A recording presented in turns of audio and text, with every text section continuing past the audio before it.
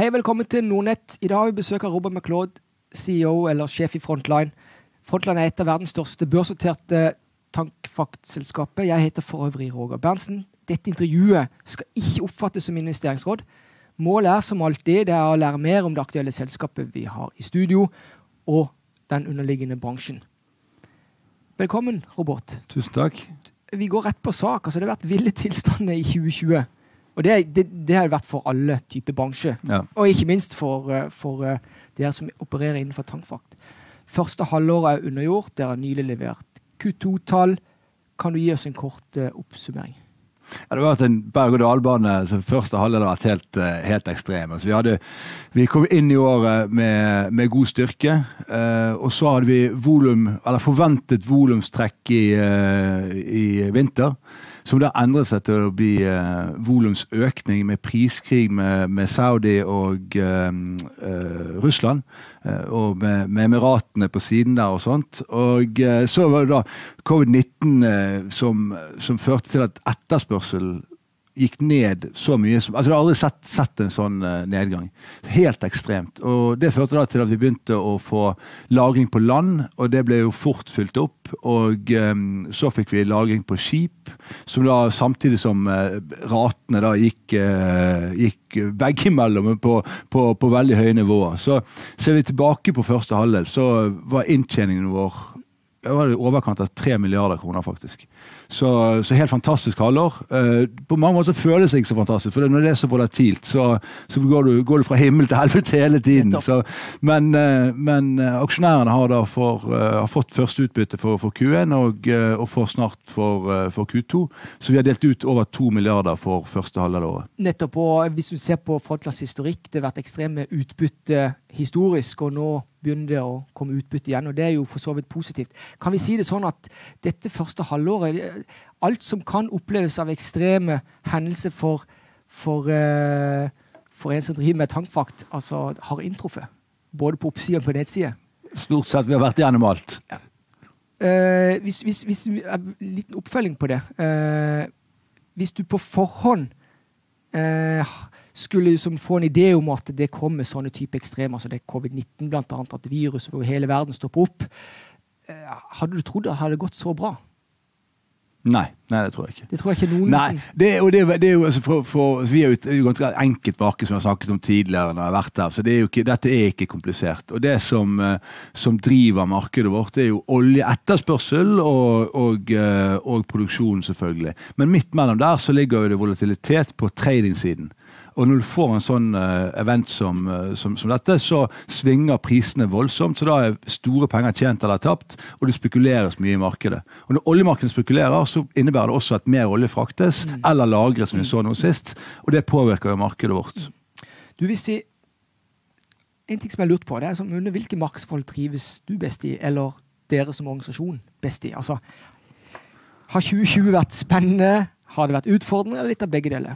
Det har vært en miks. Det har definitivt vært en miks. Skal jeg beskrive et marked like best, så er det et utfordrende marked. Utfordringer liker vi. Og vi er jo, vi er så godt posisjonert på dette at uh, et utfordrende marked gir mulighet for å optimere skipene. Og, og uh, det også liker jo å, planlegge og legge en strategi og, og sånt. Så jeg liker noenlunde forutsigbarhet. Så altså, tror vi på noe, så, så trader vi båtene ut fra hva vi tror på. Men i år har jo det vært så mye overraskelser at uh, altså Jeg skal med hånden på hjertet si med en gang at jeg har tatt mye feil i år. Veldig mye feil. Men spørsmålet eh, Når det skjer så mye på kort sikt, i alle fall fra mitt ståsted, bare som en allrounder eh, i, i, markedet eh, Hvis den er usikker, forholder den seg rolig da? Er det, er det sånn dere gjør? Nei, vi må ta avgjørelser hele tiden. Ja. Så, så sette seg tilbake og vi må da, Dette er jo da å, å, drive båter. så nesten, Vi har da 60-70 båter. Du kan nesten kalle det en taxi. Mye av det er jo spotmarked, men nesten som et taximarked. Når kunden er der, så, så, må du flytte. så Du kan parkere bilen og sette det på null inntjening, men, uh, men du, må, du, må, stort sett så I de fleste markedsforhold, hvis ikke det er ekstremt dårlig, mm. så flytter du deg. og Da må du da, da bestemme deg for om du skal flytte deg tidlig, altså låse inn kontrakten tidlig, dvs. Si kanskje tre uker før lasting, eller om du tror markedet skal opp, da venter du, og så gjør du kontrakten tettere på lastedatoen. Du, jeg har lyst til å fokusere litt på de lengre linjene, selv om at det, i, i, deres marked så skjer, skjer, det mye på kort sikt. Men fra mitt ståsted som analytiker så ser Frontline relativt robust ut både finansielt, men ikke minst operasjonelt. Uh, og videre for meg er det naturlig å trekke til paralleller tilbake til, til første del av 2000-tallet. Da var selskapet Frontland rigga for uh, De var i pole position, som et uttrykk som jeg ofte, ofte bruker. Uh, selskapet var rigga for stor utbytte som markedet skulle stramme seg til. og, og og det gjorde de jo i 2004-2008. Ekstrem. Det var en ja. supersykkel. Eh, og der kom det jo masse utbytte til aksjonærene i, i, i, i Frontland. Eh, kan noe lignende skje i dag? Og eventuelt hvorfor? Ja, altså, den siste sykkelen var jo drevet av kinesisk etterspørsel, som, som økte med, med 20 hvert år. Så, så, så tilsvarende, Jeg ser jo ikke tilsvarende event sånn uh, nå, men at vi kan gå inn i en, en, eh, en supersykkel i en periode, det, det er jo absolutt ikke, ikke å, å, rule out. Så det, det, kan fort skje. Men det som er forskjell, hvis du ser på skipsbyggingskapasiteten den gangen, så var den mye lavere enn hva den er i dag. Så du, du kan få bygget skip raskere i dag. Altså det, det, er en stor, uh, stor endring. Og tilbake til starten av spørsmålet. Ser man på Frontland nå, mm. så uh, helt enig med deg. Så selskapet er i en meget god posisjon. og Vi, vi har flinke befraktere. Det kommersielle er vi, er vi, sterke på. Men det finansielle er vi, er vi definitivt best på. Altså vi har tilgang fordi vi har, har Jon Fredriksens backing og, og, mot banker og mot kunder og mot verft og sånn, så, så står vi ekstremt sterkt. Og Ser man på flåten, så er den stor. Den er største vi har hatt hatt. Og den har også en veldig lav gjennomsnittsalder, så vi er nede på fire år, eller rett i overkant av fire år. Nettopp. Så, så det å bruke ordet pole position, det er jo et, et, et, et uh, Det tegner et godt bilde på, på frontland i dag. Absolutt. Ja. Særdeles god posisjon til å tjene ja. penger. Mm. Med kontrollert nedside, fordi at vi, vi har det laveste break-even vi har hatt. Ja, Og alternativt, dersom markedet skulle bli overraskende svakt over en lengre periode, har dere planen klar? Oppkjøp, du tenker på oppkjøp, konsolideringsfremstøt og lignende. For historisk så har dere vært veldig gode på asset play, og det er jo en, en viktig, et viktig element for å skape verdi i, i deres bransje. Det er vel ikke noen grunn til å tro at det blir svake med årene, eller tvert imot? Nei, nei tvert, imot. Samtidig som sier, vi har storflåte. Vi har uh, denne break-even-nivået, som er rundt 19 000, og det er uten kontraktsdekningen vår. Så hvis markedet blir uh, veldig dårlig, så er vi det siste rederiet som begynner å, på, i, sammenlignbare da, på, på, tank, mm. så er vi blant de siste som, uh, som da taper penger. Så vi, vi er veldig robuste. Vi har, som vi er nå, altså Det er jo alltid risiko i tank, som du vet. Det er volatilt, mm. men, men, det nivået vi begynner å tjene penger, mm. ligger, ligger ligger veldig lavt. Mm. Du, vi har òg nødt til å, å, å, touche innom uh, OPEC pluss, og ikke minst amerikansk shale. For det er jo sånn at det produseres jo en uh, bra mengde olje uh, hver dag i verden. Ca. 40% av det, det fraktes på kjøl. Ja. Så det er en del av deres, deres marked. Og du sa det jo innledningsvis, altså det har vært OPEC pluss, altså det har vært kamp om, om markedsandeler. Mm. Det har egentlig pågått siden 2014. Og det var jeg med på å virkelig fuele inntjeninga eller etterspørselen til tonnasje for 2014. Og det er der. Det underliggende, uh, det underliggende presset er der uh, fremdeles. Selv om vi er i en sånn covid-19-fase hvor plutselig alle tilsynelatende uh, koordinerer, koordinerer sine, sin produksjon. Men spørsmålet er hvem vinner kampen om markedsandeler, eller, eller blir det uavgjort? Hva, hva, hva tror du? Det er et veldig interessant spørsmål. for Du, du tar med mange av de elementene som avgjør markedet fremover.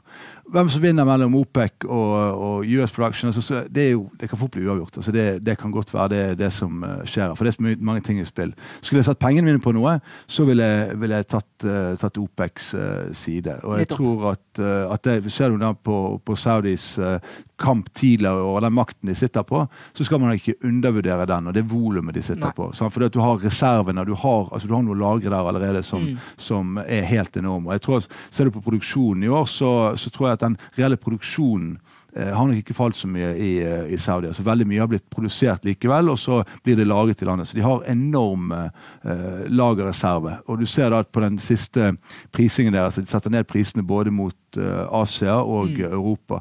Så de, eh, de, er, de, følger veldig godt med, og jeg tror at de er vinnere på sikt. Ja, og, Men, ja. Bare for å ta den delen som er, Det du sier med 40 eh, på kjøl, den er ekstremt viktig. fordi at Skal jeg forklare dette veldig enkelt, det som har skjedd i år, så er det det at det volumet vi frakter på kjøl, det var da 44 Eh, millioner fat per dag starten av året. Og det som har skjedd er at Ca. 8 millioner fat eh, per i dag så er 8 millioner fat med olje ut av markedet. og altså Nesten alt det volumet det kommer eh, da fra, fra sjølvolum, som jeg kaller det. Så det, Grunnen til at vi ser et ekstremt svakt marked nå i dag, er at vi har gått fra å frakte 44 til 35 eller 36. Så, så det, og så kombinerer du det med at dette er den sesongmessige laveste perioden. For det er da raffinerier som uh, gjør sin maintenance, og du har også stort uh, domestic demand i, uh, i, Saudi fordi at det er den varme perioden. Så det som måtte da skje ut, eller som vanligvis skjer, i år er vanskelig. fordi at det det er så ekstreme, eh, ekstreme, tilstander i alle markedene. Men, eh, men, det som vanligvis skjer, er at dette er den svake perioden, og så kommer volumene utover mot Q4 og, og mot, mot, nyttår.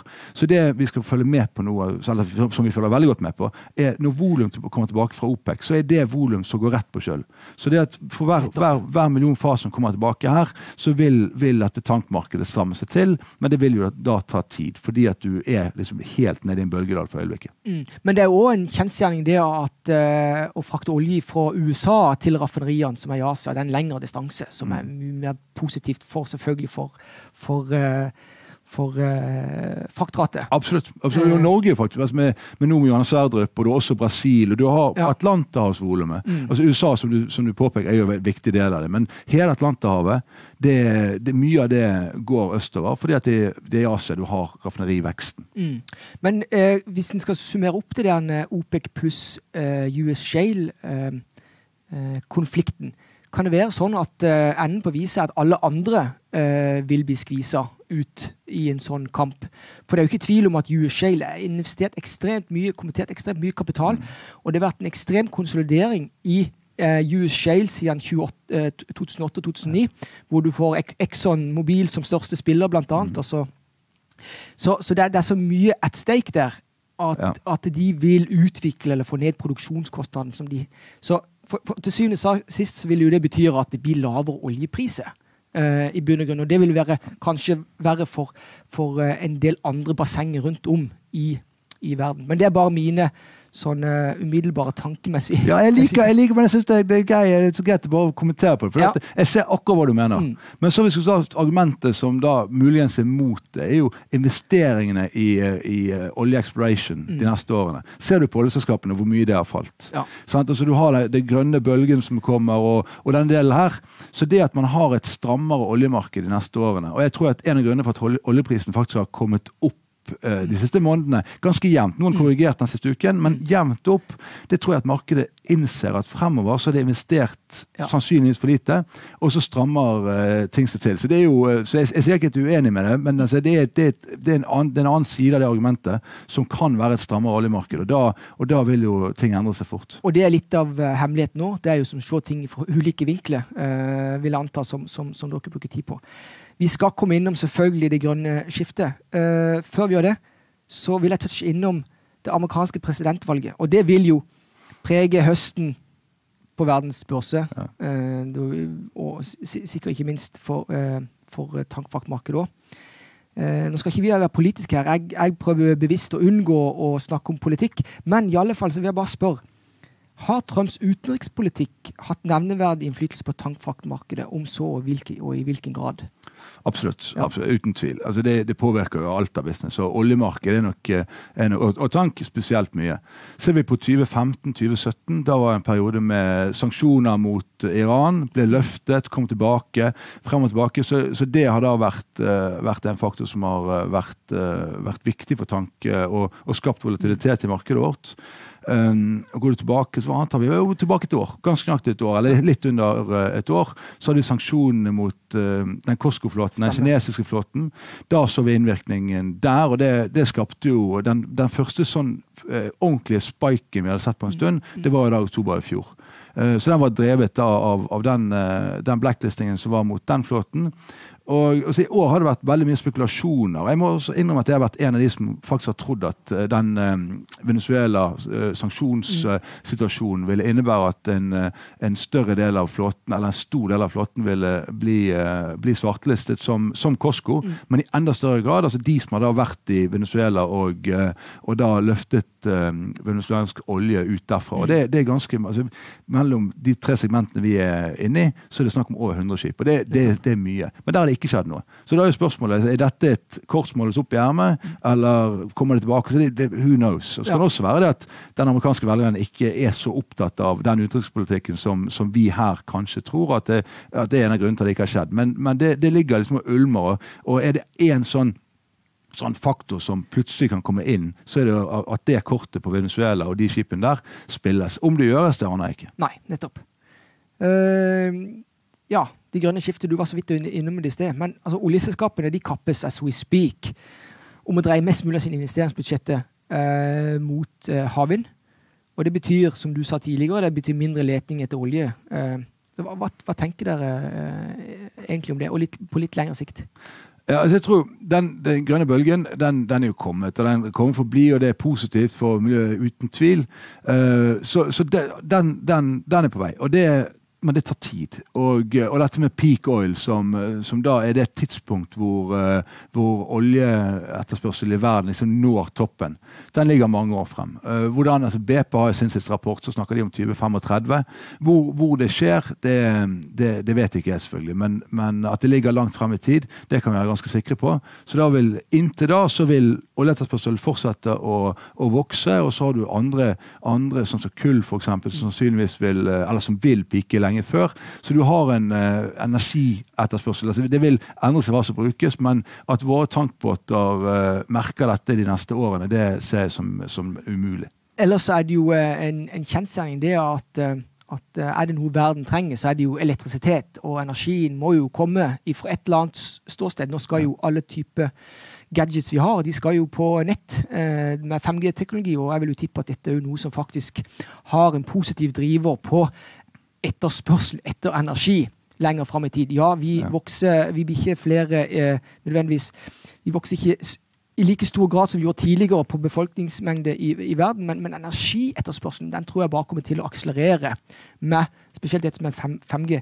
Så det blir positivt. Uansett så vil jeg bare legge til dette med det grønne skiftet. Det er jo polit All politikk eh, handler jo om, om, det grønne skiftet. Og da kommer det jo til restriksjoner, utslipp, og der har jo skipsindustrien uh, uh, jeg vet ikke, i, skal vi si en versting. altså Det er mye forurensning for den. Så Det er vel òg en, en, viktig bidragsyter til at ikke det bygges så mange nye båter det, i, i, disse tider. Ja. For, for, det at aktørene er usikre. Er dere usikre?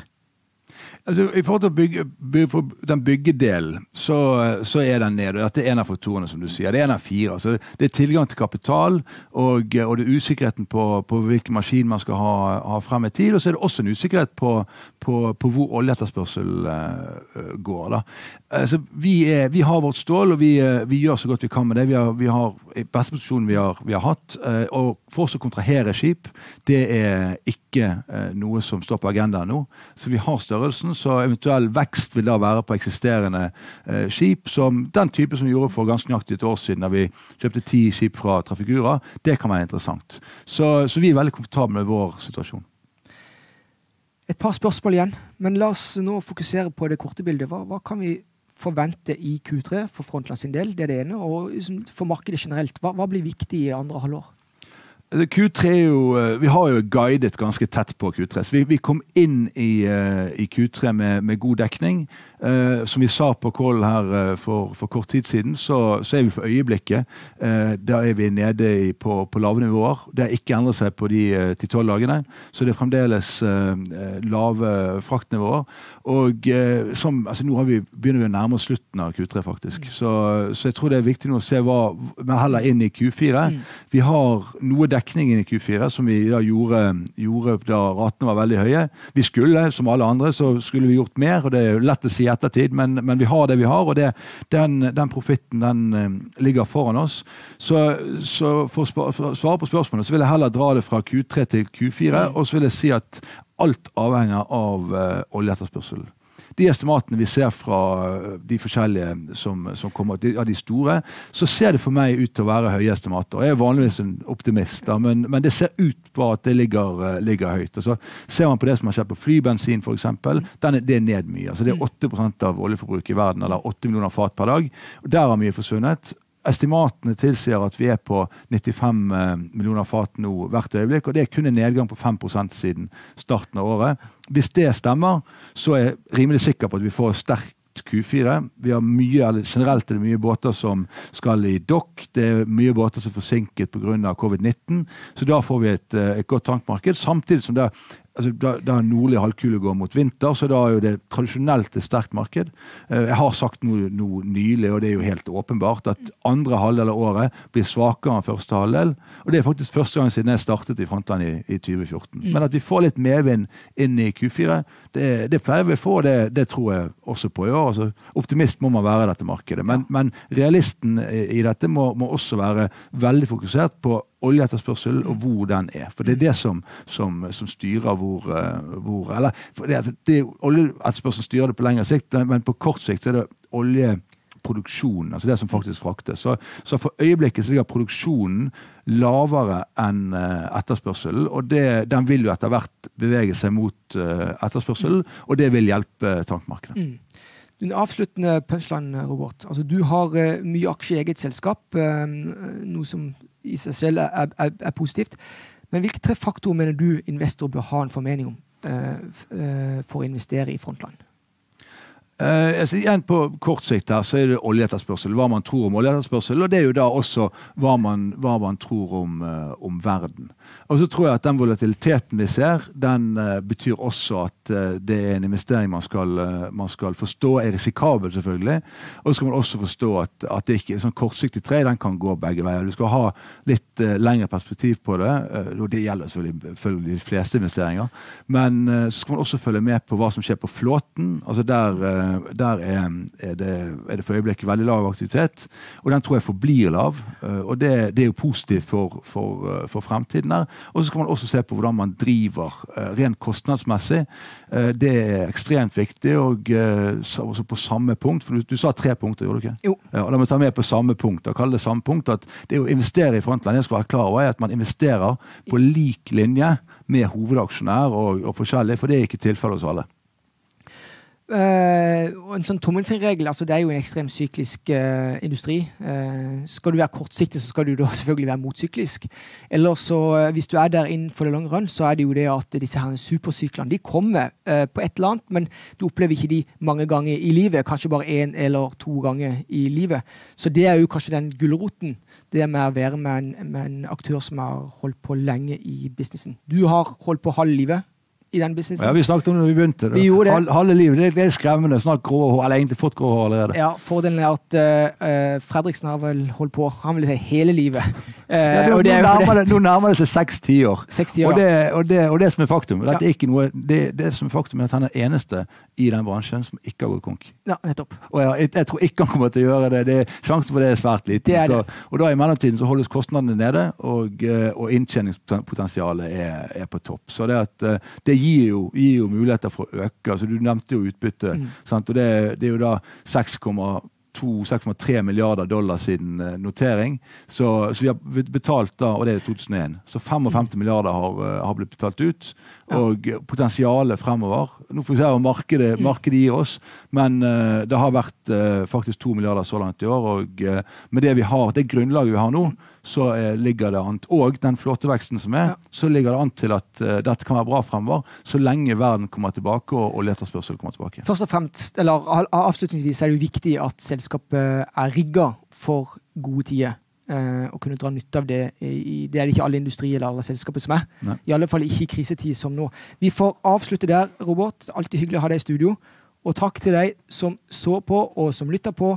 Ønsker du å lære mer om Frontline, gå inn på selskapets hjemmeside frontland.bm. Selskapets aksjer handles for øvrig på Oslo Børs under tikkeren FRO snakkes.